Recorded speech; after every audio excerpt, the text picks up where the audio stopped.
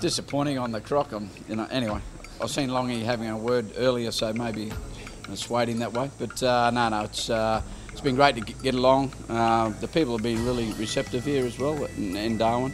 Uh, the boys are, are, loving the, you know, the well, I suppose the atmosphere or the, the, people. They're all patting them on the back and, and, having a great time. And so, yeah, looking forward to the game now. We've been fortunate, uh, you know, the last three games as well. We've we're really happy with our defence, and um, I think we conceded 10 points in three games, so that's probably uh, something we need to uh, maintain. But we, we've been, we, we, don't mind saying we've been a little bit clunky with the footy, but uh, hopefully in the next couple of games we'll sort that out.